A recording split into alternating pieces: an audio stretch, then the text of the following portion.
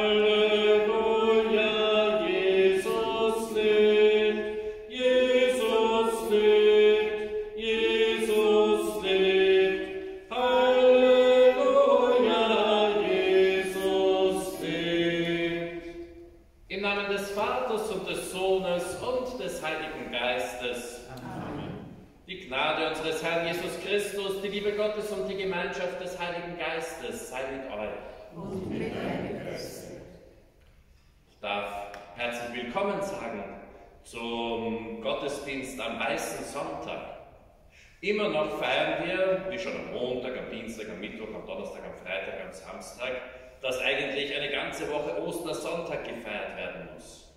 Auch in den Gebeten, äh, in den Klöstern, die die Priester beten, da kommt es immer wieder vor. Wir beten nochmal wie am Sonntag, weil es so schön ist, dass wir Ostern feiern dürfen als den Höhepunkt unseres kirchlichen Jahres, weil Jesus uns durch Tod und Auferstehung gerettet hat. Und so wurden an diesem Wochenende jene, die in der Osternacht getauft wurden, die, die haben ein ganz, eine ganze Woche lang das weiße Taufgewand getragen. Hoffentlich war es dann immer noch halbwegs weiß, aber jeder hat im Ort gewusst, ah, das sind unsere Neugetauften.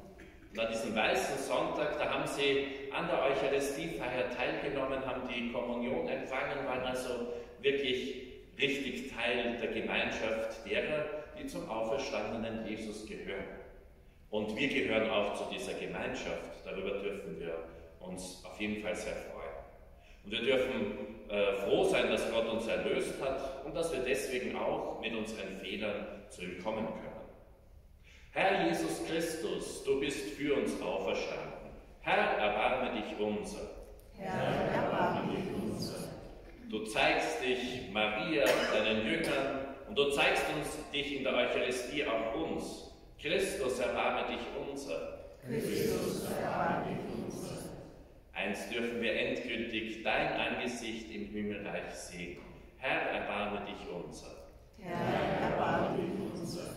Der Herr erbarme sich unser, nehme von uns Sünde und Schuld und führe uns zum ewigen Leben. Amen. So wollen wir gemeinsam Gott loben. Ehre sei Gott in der Höhe. Gott in der Höhe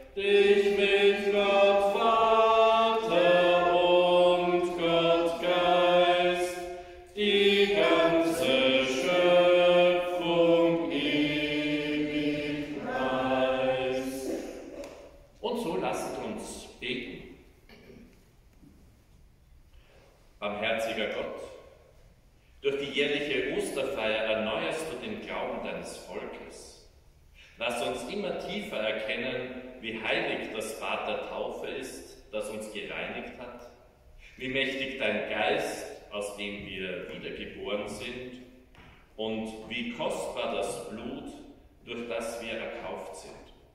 Darum bitten wir durch Jesus Christus, deinen Sohn, unseren Herrn und Gott, der in Einheit des Heiligen Geistes mit dir lebt und herrscht in alle Ewigkeit.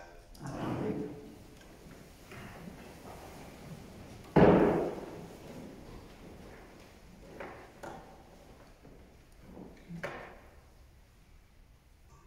Lesung aus der Apostelgeschichte. Die Gläubigen hielten an der Lehre der Apostel fest und an der Gemeinschaft, am Brechen des Brotes und an den Gebeten. Alle wurden von Furcht ergriffen und durch die Apostel geschahen viele Wunder und Zeichen. Und alle, die glaubten, waren an demselben Ort und hatten alles gemeinsam. Sie verkauften Hab und Gut und teilten davon allen zu, jedem so viel, wie er nötig hatte. Tag für Tag verharrten sie einmütig im Tempel, brachen in ihren Häusern das Brot und hielten miteinander Mahl in Freude und Lauterkeit des Herzens. Sie lobten Gott und fanden Gunst beim ganzen Volk. Und der Herr fügte täglich ihrer Gemeinschaft die hinzu, die gerettet werden sollten. Wort des lebendigen Gottes. Dank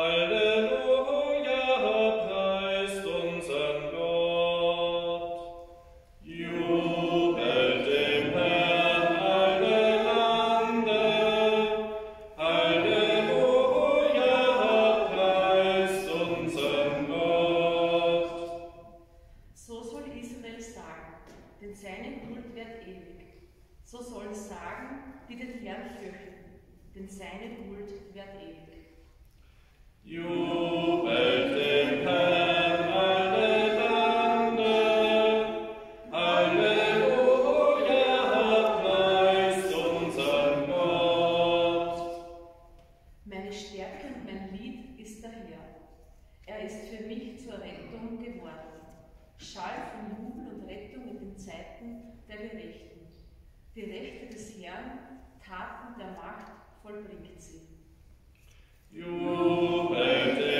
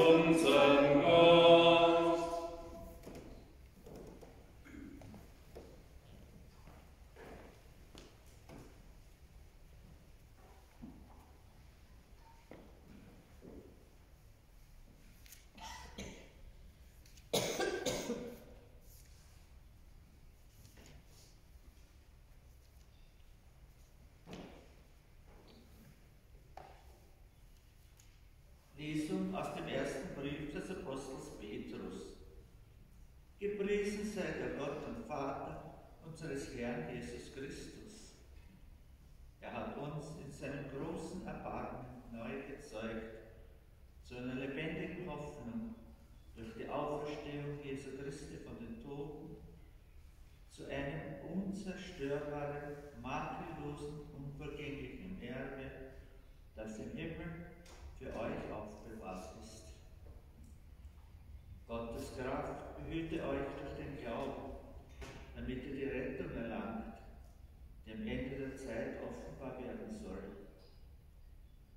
Deshalb seid ihr voll Freude, wenn es euch für kurze Zeit jetzt sein muss, dass ihr durch mancherlei Prüfungen betrübt werdet. Dadurch soll sich eure Standfestigkeit im Glauben die kostbare ist das Gold, das im Feuer geprüft wurde doch vergänglicher ist, herausstellen, zu Lob, Herrlichkeit und Ehre bei der Offenbarung Jesu Christi. Ihn habt ihr nicht gesehen und dennoch liebt ihr ihn. Ihr seht ihn auch jetzt nicht, aber ihr glaubt an ihn und jubelt in unaussprechlicher und von Herrlichkeit erfüllter Freude da ihr das Ziel eures Glaubens empfangen werde, eure Rettung. Wort des lebendigen Gottes. Dank sei Gott. Halleluja, Halleluja,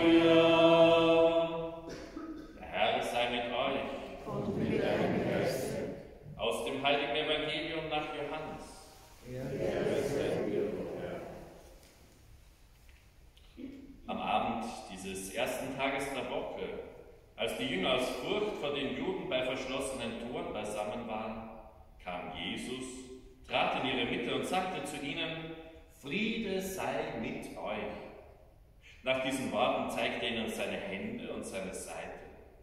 Da freuten sich die Jünger, als sie den Herrn sahen. Jesus sagte noch einmal zu ihnen, Friede sei mit euch.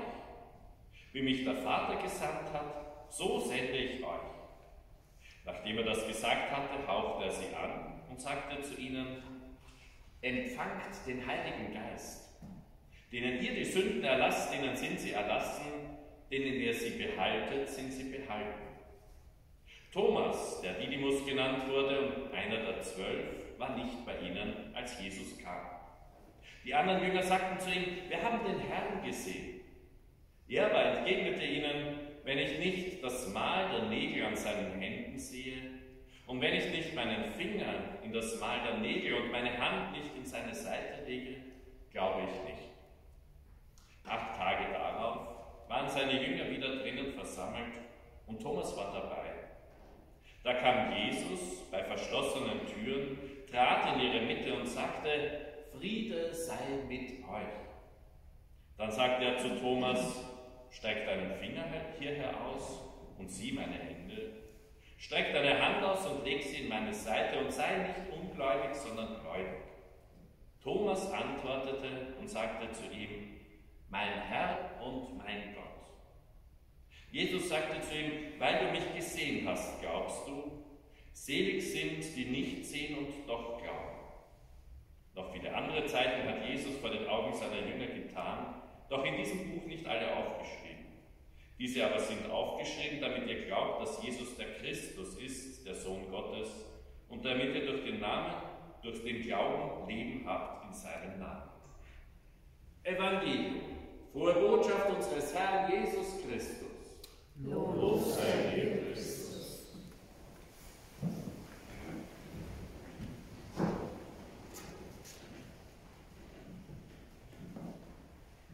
Liebe Gemeinde, Schwestern und Brüder im Herrn, heute ist ein ganz besonderer Tag. Für mich am allermeisten, denn der heutige Tag beschäftigt sich auch mit meinem Namenspatron und schon seit ich kleines Kind war, Ministrant, also das war eigentlich einer der wichtigsten Tage für mich im Jahr. Zuerst hat mich noch gerissen, aber dann habe ich mir schon gewusst, eine Woche nach Ostern, da ist dieses ganz besondere Evangelium, das mich durch mein ganzes Leben eben jetzt schon begleitet. Und es ist eben auch äh, zu meinem Primizspruch, also zu meinem Lebensspruch als Priester geworden, dass dieser Thomas dem Jesus antwortet, mein Herr und mein ein unglaublich äh, beeindruckendes, ein, ein befreiendes Zeugnis, das dieser Apostel uns gibt. Er ist einfach ehrlich und mit Begeisterung bekennt er sich zu Jesus, als er ihn eben in seiner Gegenwart erlebt. Und ich denke, da können wir uns durchaus auch ein Stück was von ihm äh, abschneiden. Nicht, dass wir von ihm sagen, ach, das ist einfach der Ungläubige, der, das, der war dumm, der hat das nicht verstanden. Nein, er war einfach ehrlich. Und so ein bisschen Ehrlichkeit, Wahrhaftigkeit, das können wir in dieser Welt durchaus brauchen. Ich finde ganz spannend, dass es also auch äh, der Sonntag der Barmherzigkeit ist, der göttlichen Barmherzigkeit ist, wie dieser Sonntag seit dem Jahr 2000 heißt. Also, dass sich in diesem, an diesem Sonntag eben dieses Evangelium besonders uns nahebringt, ja, Jesus kommt als Auferstandener, damit wir eben nur ganz sicher sein können, dass wir uns nicht vor Tod und, und ja, vor gar nichts fürchten müssen. Dass wir gläubig sein dürfen und können, auch wenn wir kritisch sind. Dafür ist er eben vielleicht ganz besonders eben auch dem Thomas erschienen. Nicht irgendwann, sondern wir haben ja gehört, also er ist äh, seinen Jüngern eben schon begegnet, der Thomas war nicht da, es war schon eine große Erfahrung. Er sagt zu ihm, Friede sei mit euch. Auf einmal wissen sie, ah, er ist wieder in unserer Mitte. Sie berichten davon leidenschaftlich. Aber der Thomas, der sagt, ich kann mir das nicht vorstellen. Ich tue mir schwer damit. Ich finde, das täte uns ganz gut, weil wir manchmal auch mit, miteinander ins Gespräch kommen, auch über Dinge, wo wir sagen, damit tue ich mir schwer. Wieso lässt der liebe Gott so viel Ungerechtigkeit zu? Warum gibt es Krieg? Warum gibt es Wetterkatastrophen, warum gibt es Tod und Leid? Das sind schon so Dinge, wo ich sagen muss, also da bin ich bis heute manchmal am Rätseln, was sich der liebe Gott dabei denkt, wie er da für sich in Anspruch kann, äh, nehmen kann, lieb zu sein und solche Grauslichkeiten in der Welt gibt. Ich werde mal ganz genau fragen, denn diese Zuversicht habe ich, dass ich diese Chance bekomme, am Ende der Zeiten einmal genau nachzufragen. Da wird es ja lange Stau hinter mir bilden, weil, also, das will ich dann schon genau wissen. So wie mein Namenspatron, der Thomas, eben auch das genau erfassen wollte. Und vielleicht ist er besonders in einer Zeit, wo wir erleben, dass irgendwie so ja, erfundene Wahrheiten immer mehr die, die Runde machen über das Internet und wo es jetzt künstliche Intelligenz gibt, die auch irgendwelche Dinge erfinden kann. Also da brauchen wir das vielleicht neu, dass wir die Dinge auch, die wir da so hören und lesen, kritisch hinterfragen. Äh, vielleicht nicht dem Erstbesten nachlaufen, der irgendeine Verschwörungsidee äh, weitergibt, sondern halt bodenständig. Der Thomas sagt ja nicht, also ich möchte das jetzt irgendwie, möchte Fotos haben oder ich möchte irgendwie äh, fünf Zeugen haben. Nein, er sagt, ich will das selber ordentlich erleben, erforschen können.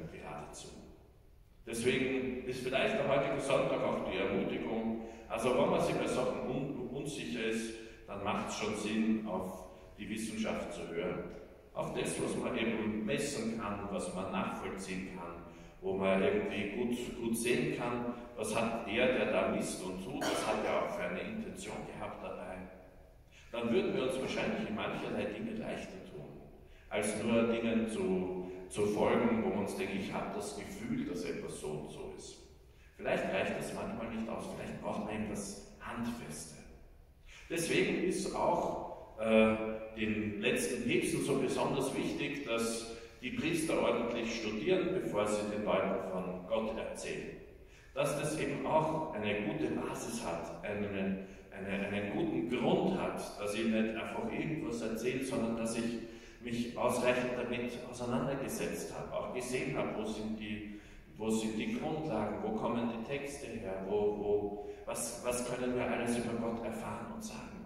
Das ist wichtig, damit es nicht einfach so ja, nur Windhauch ist, wie doch immer wieder die, die Sorge sein muss. Und so ist der heutige Sonntag einer, wo wir mit Freude sagen dürfen, damals hat der, hat der Thomas mitgekriegt, Jesus ist tatsächlich auferstanden. Und er hat ja nicht geschimpft. Weil er hätte ja sagen können, also Friede mit euch, aber du Thomas, also jetzt komm mal her, jetzt ziehe dir mal ordentlich am Ohrwaschel, wie kannst du das nicht glauben, dass ich auferstanden bin? Sagt er nicht. Sondern er sagt, pass auf, Thomas, du hast gesagt, du brauchst es, hier sind meine Hände, greif an, fühl an. Hier ist die Seite, wo die Lanze drin gesteckt ist, greif an und glaube. Er wünscht sich für ihn, dass er aus dem Glauben leben kann. Ich denke, das sollten wir uns für uns alle wünschen, dass wir aus dem Glauben leben können und dass uns eben dieses Anhalten an dieser besonderen Botschaft eben dabei auch wirklich hilft.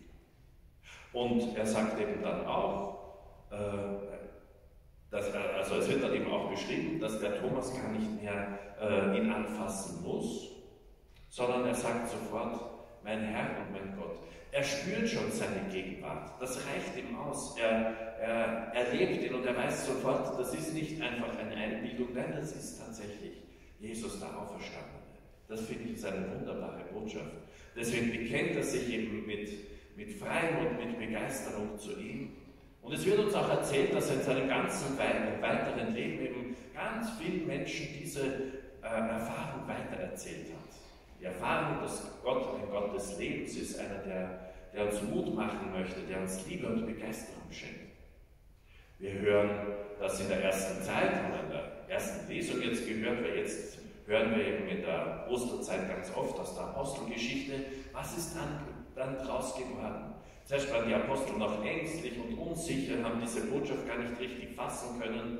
Aber nach der Himmelfahrt, nach dem Kommen des Heiligen Geistes, da haben sie auf einmal aus Kraft und Begeisterung miteinander gelebt. Heute haben wir schon gehört, gleich am Anfang sagt der Jesus, ich hauche euch diesen Heiligen Geist ein, damit ihr das verstehen und packen könnt, damit ihr das weitererzählen könnt. Unseren Firmlingen werden das auch äh, zum Pfingsten wieder so zusagen können, dieser Heilige Geist, der soll mich ganz erfüllen, soll dir helfen, das gut hinzukriegen, als begeisterter Christ zu leben. Und schließlich sind die Apostel auch in die Welt hinausgegangen. Zuerst waren sie noch zusammen in Jerusalem, sie haben alles geteilt, sie waren jeden Tag im Tempel, es war ein gutes Miteinander, es sind immer wieder mehr getauft worden, aber jetzt ging es darum, es in die Welt hinauszutragen. Und so ist eben Thomas auch, so wird erzählt, nach Indien gegangen und hat dort die frohe Botschaft verkündet. Und viele Christen berufen sich bis heute auf sein besonderes Zeugnis. Und manche von denen, die dann dort auch Priester werden, kommen wieder zu uns zurück. So schließt sich irgendwie dieser Kreis. Sie kommen auch nach Europa. Die Botschaft des Thomas, sie hat sich auf der ganzen Welt äh, verteilt, dass man gläubig, nicht ungläubig, voll Begeisterung sein soll. Und vielleicht schaffen wir das die nächsten Tage auch, mal im Gebet dem lieben Gott auch unsere Begeisterung zu sagen, zu ihm zu rufen, mein Herr und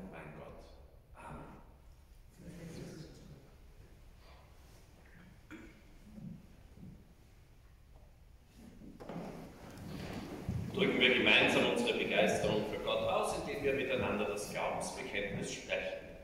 Ich glaube an Gott, den Vater, den Allmächtigen, den Schöpfer des Himmels und der Erde, und an Jesus Christus, seinen eingeborenen Sohn, unseren Herrn, empfangen durch den Heiligen Geist, geboren von der Jungfrau Maria, gelitten unter Pontius Pilatus, gekreuzigt, gestorben und begraben hinabgestiegen in das Reich des Todes, am dritten Tage auferstanden von den Toten, aufgefahren in er sitzt zur Rechten Gottes, des allmächtigen Vaters, von dort wird er kommen, zu richten die Lebenden und die Toten.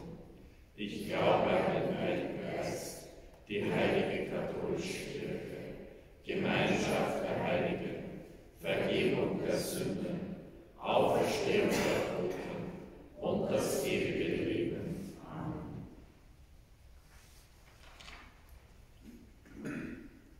Die Liebe Gottes zu uns ist grenzenlos. Ihm vertrauen wir unser Leben an und bitten ihn.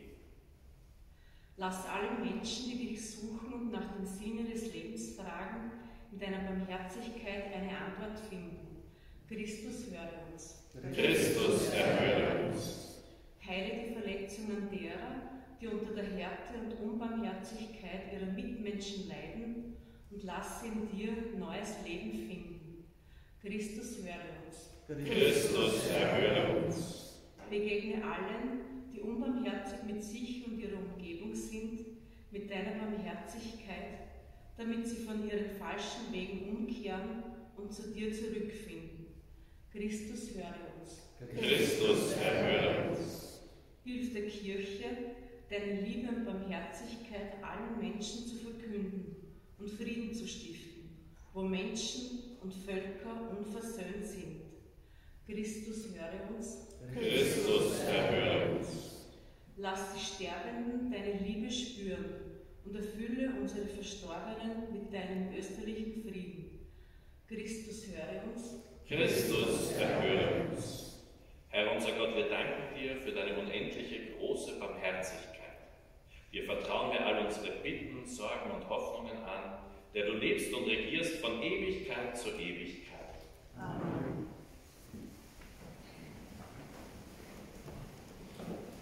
Ableitung singen wir die Nummer 837, die dritte und vierte Strophe.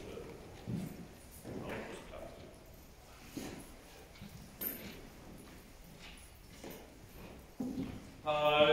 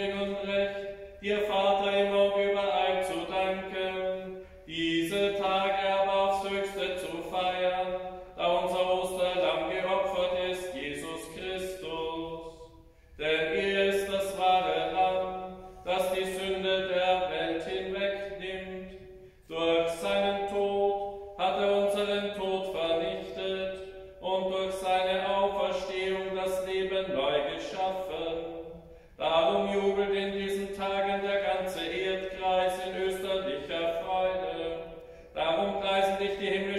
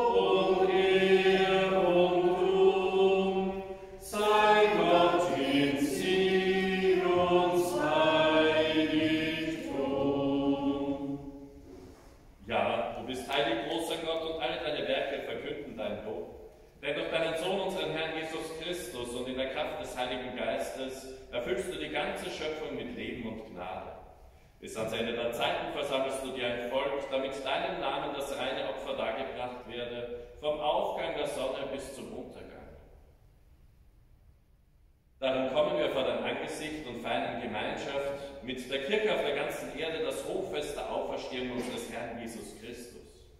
Durch ihn, der zu deiner Rechten erhöht ist, bitten wir dich, allmächtiger Gott.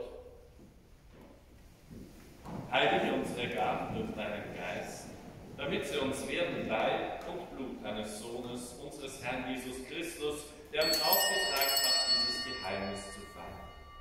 Denn in der Nacht, da verraten wurde, nahm er das Brot und sagte Dank, brach es, reichte es seinen Jüngern und sprach, Nehmet und esset all davon. Das ist mein Leib, der für euch hingegeben wird.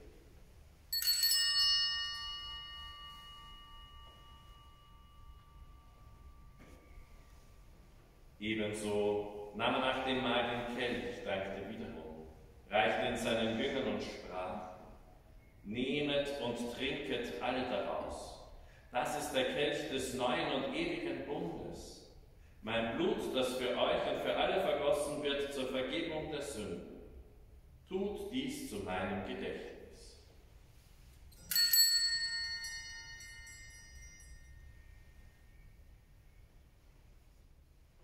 Geheimnis des Glaubens. Deinen Tod verkünden wir, und deine Auferstehung bis du kommst in Herrlichkeit.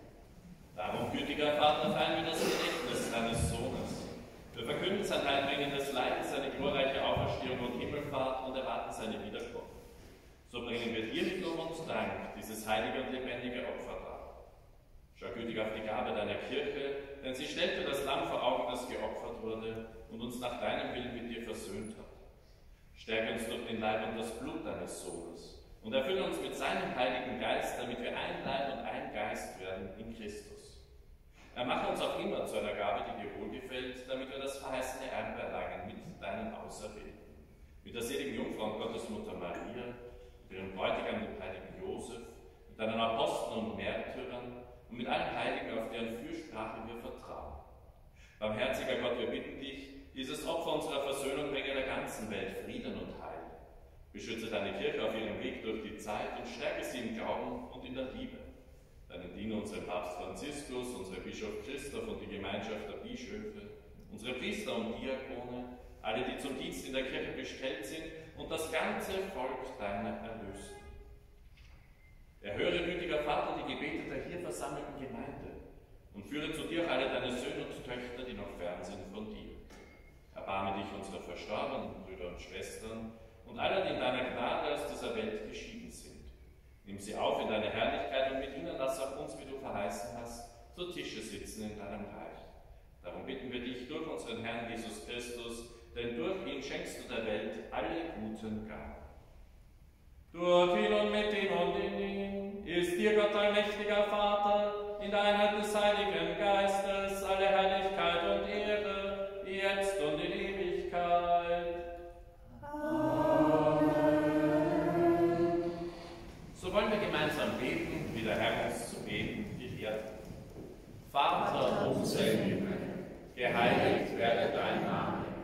dein Reich komme, dein Wille geschehe, wie im Himmel, so auf Erden.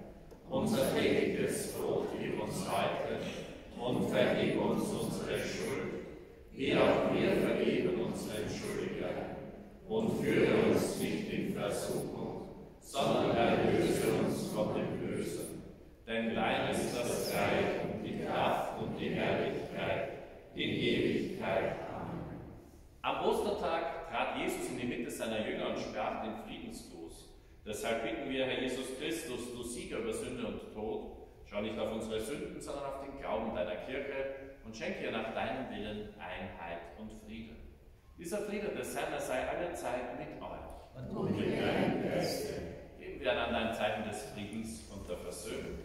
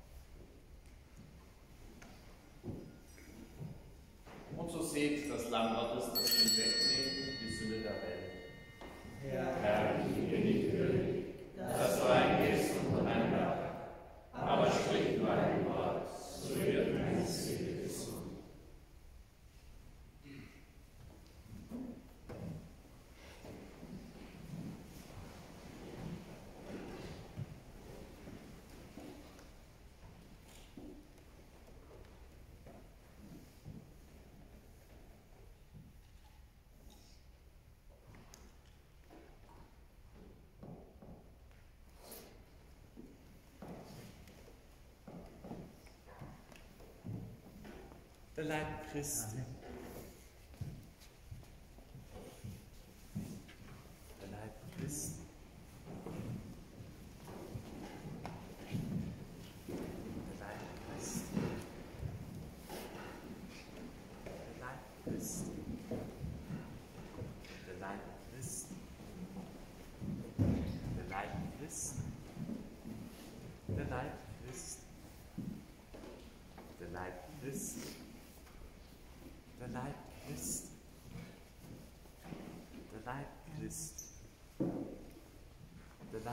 Christ, der Leib Christ, der Leib Christ, der Leib Christ, der Leib Christ, der Leib Christ, der Leib Christ, der Leib Christ, der Leib Christ, der Leib Christ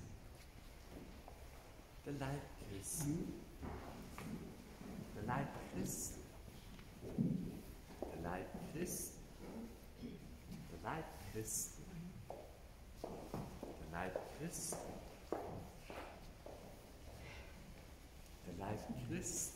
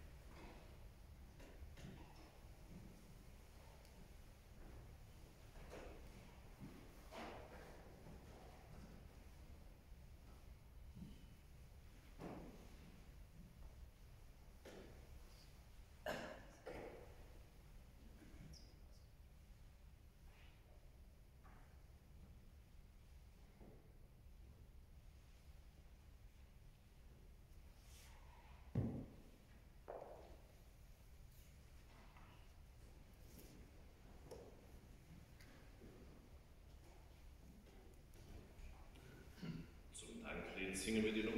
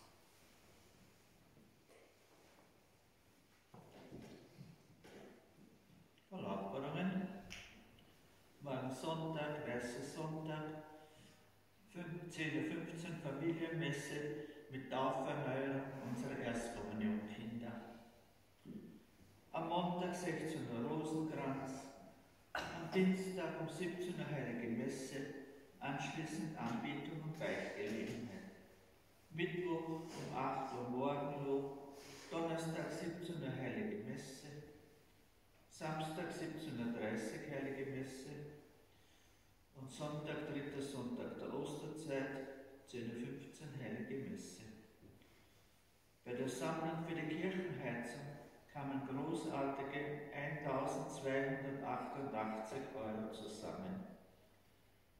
Der Kerzenverkauf erzielte einen Betrag von 194,29 und für die Aktion Lebenslicht konnten 888,61 gesammelt werden.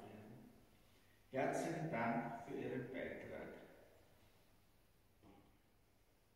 Die Pfarrgemeinderäte und Vorsitzende finden am Mittwoch, 19. 19.04. um 19.30 Uhr statt.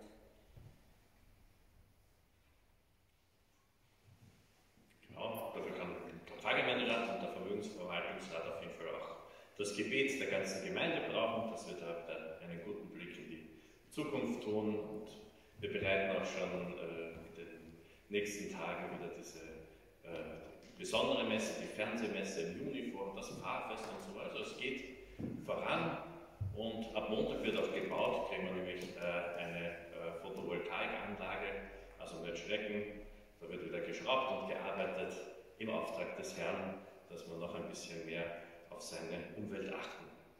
So wünsche ich uns allen, dass wir in dieser Woche es gut schaffen, im Gebet zu sein und dem lieben Gott auch öfters mal sagen, dass wir ihn großartig finden, dem wir zu ihm sagen, mein Herr und mein Gott, dass uns das gut gelingt. Dafür bitten wir Gottes Segen. Der Herr